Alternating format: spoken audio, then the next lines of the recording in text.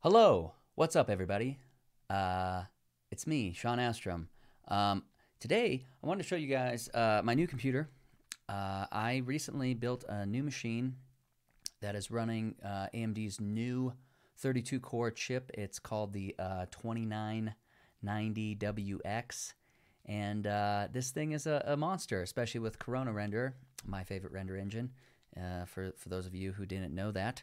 Um, but anyway, another big announcement. If you guys head on over to coronarender.com forward slash blog, you can see here, you can download the latest beta 2 release candidate 1 right here from the blog. And uh, that is pretty sweet because they've been working on a lot of cool stuff. Uh, uh, one of which being the uh, Corona Node material system. They got a scene converter, uh, and now they fully support Cinema 4D's hair, which is really exciting. Now, uh, for those of you who may or may not know, Corona Render is a CPU based render engine, and that's why I got this monster 32 core chip. And you will see here shortly that uh, it is extremely fast with Corona Render. And uh, yeah, so, and uh, yeah, guys, if you guys haven't been keeping an eye on Corona, you should definitely head on over to their main website here, coronarender.com, and look at the gallery. You see some of the images that people are creating with this render engine. I mean, it's absolutely ridiculous in terms of render quality. Now, not to say that uh, Arnold or Redshift or Octane or any of these other engines can't do these things, um, but for Corona, it's just it's it seems like it's just easier to get photoreal renderings out of it. It's just uh, less work, um, if if if you could say such a thing when it comes to 3D art. Uh, but anyway, that's kind of their philosophy too. A little bit is stripping away a lot of the complexities of setting up shaders, setting up lighting, setting up GI, all that stuff. So anyway, uh, I'm gonna hop into Cinema here. I got a little scene. Uh, it's literally just a Cornell box, very simple. Um, and I'm gonna dive into the render settings here. And if you look here, super basic. One thing I always change, and you guys may have noticed, seen this in my other tutorials, is I set the interactive rendering passes to 20. That way the interactive rendering um, window is not continuing to render and render and render and get finer and finer because then you're just kind of um, burning up your CPU uh, when you don't need to do that. But yeah, so uh, anyway, here's this scene. Got some simple Corona materials, and uh, yeah, I'm just gonna fire up the IPR here, and we'll, we'll see how quick this is. Um, so as you can see, it's uh, rendering, and oh, it's already done actually to, to 20 samples. A little bit of noise in there, um, but this is a Cornell box, full GI, bouncing around. I got a glass sphere in here, and I got this little figure. Um, but if I go into the settings here, and let's just crank up these um, interactive passes to like 50, let's say, and then let's go to general settings and turn on our um, denoising. If we set this to full denoising, and then actually I'm going to set the uh, interactive settings to, or render passes to 25. Oh, it's actually been rendering in the background there. Um, I'm going to stop that. I'm going to fire this back up. And let's just see what we get here. So it's rendering, rendering. Oh, it already got 25. And that's that. Now, if we want to run the denoiser, we have to run it in the um, picture viewer, if I'm not mistaken. And so it's rendering, rendering, rendering, and um, oh, that this one I haven't changed the setting. But if I stop this, um, yeah, 11 seconds with full denoising. Now that resolution is pretty low, so let me actually crank this up to 960, something like that. So let's go to general settings, pass limit 25. We'll render again. Um, but yeah, guys, I really just want to show you how freaking fast this render engine is with um, AMD's new Ryzen Threadripper. Such a such a silly name, but that's what it's called, and it's the 2990WX 32 core processor. And I currently have mine running at 3.7 gigahertz. You can actually overclock these, and um, oh yeah, so here we are, 15 seconds, um, completely noise free. Um, we're getting some caustics here and my little figure here. Granted, this is not a complex scene, but um, for those of you who are familiar with 3D rendering, this is fast. This is incredibly fast for a scene like this. Now, if I hop over here, I got a couple other scenes prepared here. I have this little rover here that's from um, my HDRI Alien Skies pack. If you just head on over to my site here, you can see these guys here. Um, This is a, my Alien Sky Pack. Uh, it's very exciting.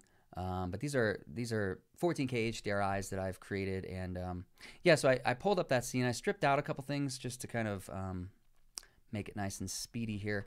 Um, but if I also hop into my render settings and just double check the um, performance settings, let's do max passes 25 here as well. And there, we'll go 50, even though we're not going to probably be doing final render. This is cool. This is cool. Um, so yeah, I just fired up the IPR again, and it's switching over to this scene, um, preparing scene data. This model is a little more complex, and not to mention we have loaded in a 14K um, HDRI map. But you can see here, um, basically getting uh, noise-free feedback within seconds. I mean, this is like, whoop, I want to do some want to check this material out here that I've been working on up and close here. So we'll let that resolve. Oh, that looks good. Um, I'm gonna I'm gonna brighten up my HDRI here. Let's set the intensity to two. Um, let's see what that looks like. Oh, okay, that looks good. I like that. Cool, done. Project's done. I'm gonna send it to my client now, and um, they're gonna be happy. Uh, actually, you know what? They like this other sky, so let me throw that on there. Now, everybody knows that Redshift and Octane are just as fast, if not way faster than this in many cases, but this engine has no limitations um, of GPU rendering. So all of the procedural shaders and built-in Cinema 4D shaders are supported um, by Corona, which is awesome, especially for, for those of you who have been using Cinema 4D for a long time. You like the built-in shaders, uh, such as myself here. I, I started working on this little rock scene. I was going to try and do something here. Um, but yeah, so I got this little rock model here. I started to kind of build a little rock model. It's like an outer space diamond rock thing. But I just want to show you guys how quickly I could maybe build a quick um, procedural rock shader. So if I wanted to, I could pull up the Corona's own material node system. Now you have to bear with me guys because I haven't actually used this very much. Um, but if I go in here to new, uh, what do I want, new shader, um, something they just added is um, full support for the for the layer shader. So I can plug this sucker into the diffuse channel, and then I could go up here, go uh, noise.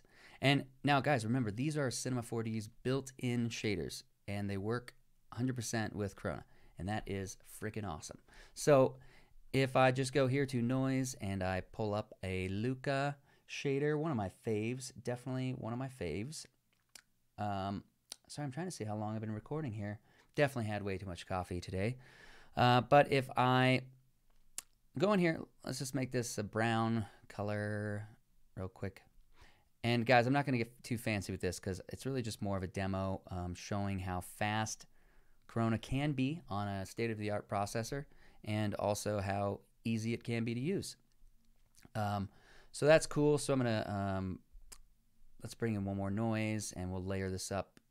We'll just put it in here. Now if we if we click the actual layer shader, you can see we it's just stacked just as as if you would inside of Cinema native natively. Um, this is R20. I barely scratched the surface with uh, the new node system that comes with R20, but this is a separate node system um, developed by the guys at Corona. And uh, yeah, so I'll, I'll let's do displaced turbulence on this guy. Crank it up here. And you know, I'm not going to worry about coloring this. I'm just going to go to the layer shader and set this to multiply or something like that. Um, maybe we'll do overlay. And actually, let's add some color in here. Let's add a little red, a little reddish, something like that. And uh, sure, whatever. And uh, uh, yeah, that's fine. Very subtle, very subtle, but not that big a deal. You can always right click and open these windows up if you want to get a better preview of what's going on here. I love that feature. Uh, I don't know if a lot of people use that. So here's my pretty bad rock material. Um, but if I throw it on here, oh, look at this. Oh, look at that. We're already getting immediate feedback in the IPR.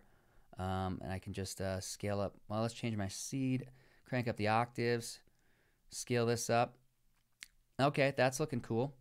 Now, let's say uh, I'm going to save this and I'm going to go to displacement. We'll turn that on.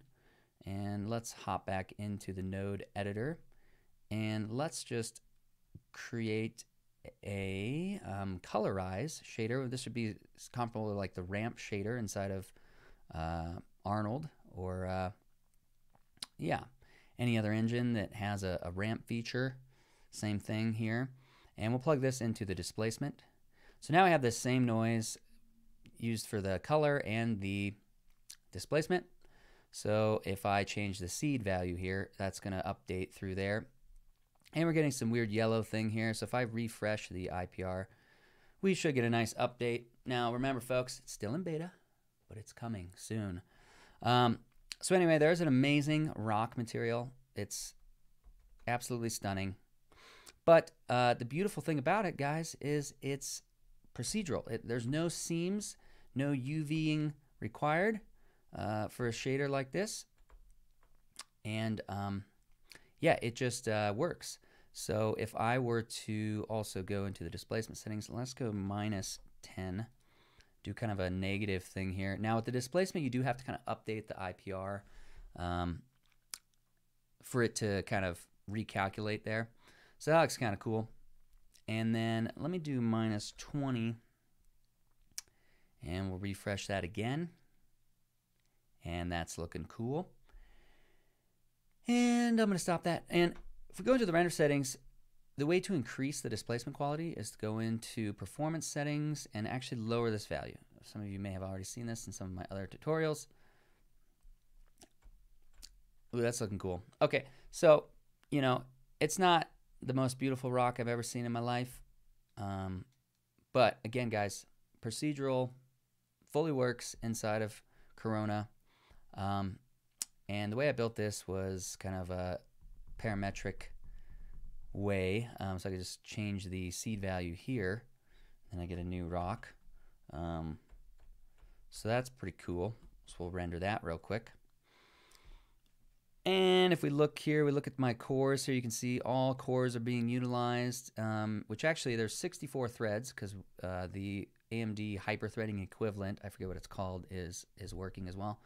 So anyway, there you go, guys. It's already gotten to 100 passes or 88, almost 100, which is like very high, super clean, um, very simple scene, but I hope you guys are kind of getting the idea uh, as to how fast this is. So I have a, another little simple scene here, this uh, NSX model that I got off of Turbo Squid, I believe. And let's see here. I'm just going to update this, and this is working. And look at that. Look at that. We have a full, full preview here of this scene. And this is a HDRI from uh, my Epic Sky pack. If you guys haven't seen that, definitely check that out. And what else? What else we got here? I don't know, guys. This is just so fast. I can't even handle it. Um, output. Let's do a quick test render of this guy. A little higher re resolution. Let's go. Let's go 25. Actually, let's go 35, and let's enable denoising let's just see what we get. Let's just see what we get here. And I'm to just delete these images out of here. You'll notice too that the IPR up actually is kind of working in conjunction with Cinema's picture viewer. And every time you re-enable the IPR from here, you, you get a you get kind of a that image gets copied over to the uh, picture viewer. So 20, let's see here, uh, 30, it's almost there, almost done and denoising and boom. And that is literally 100% clean.